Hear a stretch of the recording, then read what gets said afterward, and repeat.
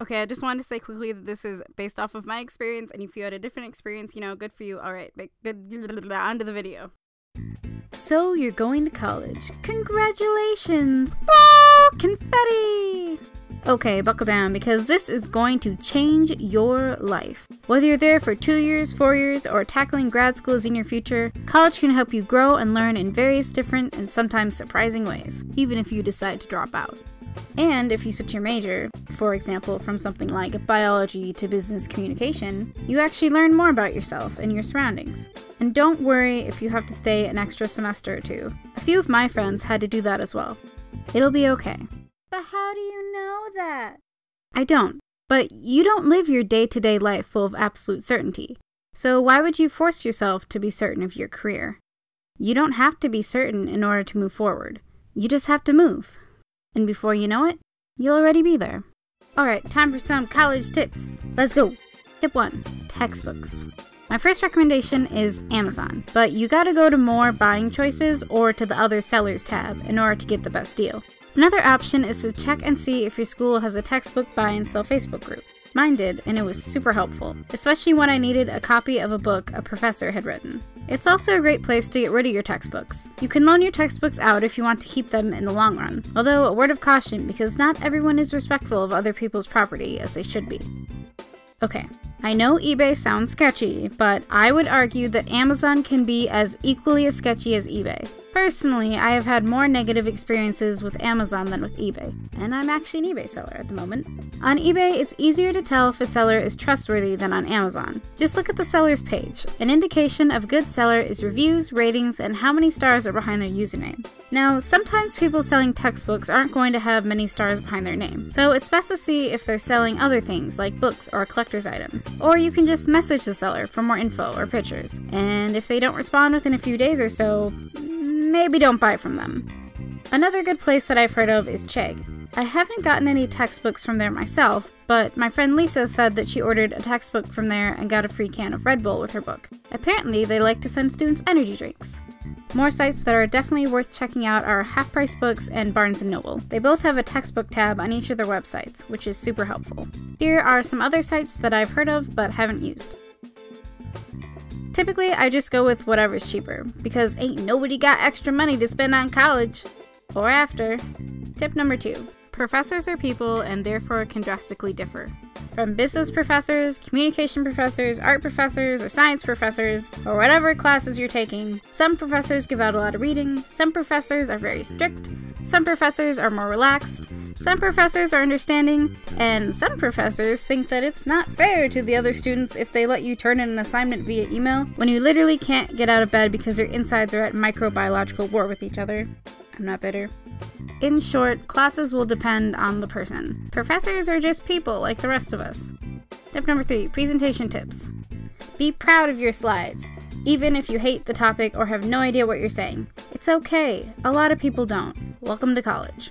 Over the years, I've sat through thousands of presentations. I'm partially a comm major, so it's actually probably more than that. So I'm going to give you some good and bad examples of slides.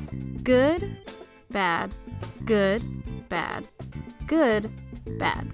And my number one presentation tip is carnivalslides.com. They have so many great templates you can download to Google Slides or to PowerPoint. This template is my favorite, and I've used it for a lot of different presentations. But go check them out for yourself. Not sponsored, by the way. If you can't have a PowerPoint or slides, I highly recommend writing out what you're going to say ahead of time. Some people just need an outline for their main thoughts, but I was the type of person who wrote out everything I was going to say word for word. Gather your thoughts ahead of time. I dare you. Tip number four. Okay, you've probably heard this before, but go to class. Unless it's a class you can afford to skip. The people who skip classes are the ones who complain about the class that they barely show up to, and oftentimes get really low scores. Also, if you divide up all that money that you're paying by the number of class periods you have, you're basically wasting your money. Unless you're sick, then stay home and get better. Nobody wants your germs. This isn't like the years of school you had before. You have to tell yourself when to do homework, study, socialize, and balance all the aspects of your life. Good luck. Try not to pull all nighters. Seriously. This can really screw up your metabolism and energy levels. Why do you think the freshman 15 is a thing? The first night, you might be pretty okay, but if you continue to do it, you're just setting yourself up for failure.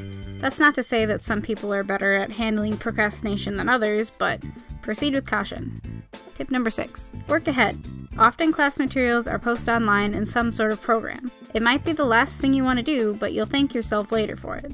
At least think about your assignments beforehand. That's half the battle right there. Tip 7 Google Docs and Google Slides. If your school doesn't provide Microsoft Office and your professor requires you to turn things in as a Microsoft Word document, you can go to File, Download As, and pick which file type you need for that essay assignment.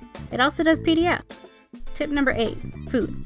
Unless your caf is rated 5 stars, then you're going to get sick of that food. Teach yourself how to make food. Just a few recipes to start with. I link some of my favorite recipes in the description for you.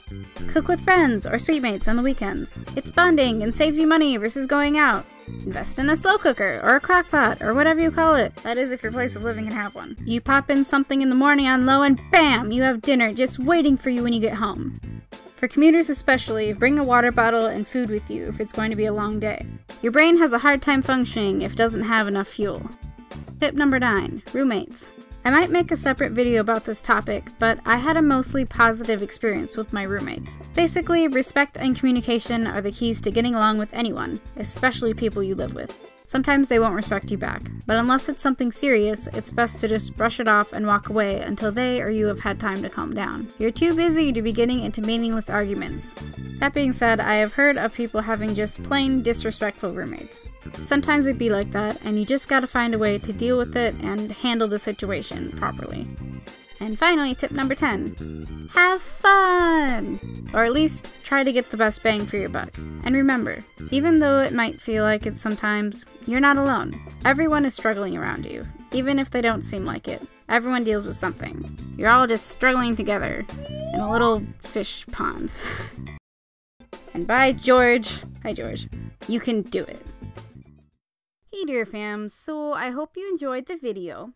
If you're new, I welcome you wholeheartedly. If you've seen my previous videos, you might notice that I did the backgrounds a bit differently this time. I wanted to try out a different sort of feel for my videos, and I was rewatching Rebecca Parham's videos from Let Me Explain Studios, and I noticed that she had a more colored slash textured like background instead of multiple scenes that are rather detailed and that sort of thing. So I figured I'd give my own little sort of spin on that technique for this video since it isn't quite a storytime video, so I had a little bit more room to play around with it, and also to save on a wee bit of time. I know that some of the backgrounds get a bit oversaturated, but it was too late and I kept them anyways, so deal with it, I guess. Anywho, thank you so much for watching and now listening to me ramble in this end card. So, uh, peace out and go in peace. Bye!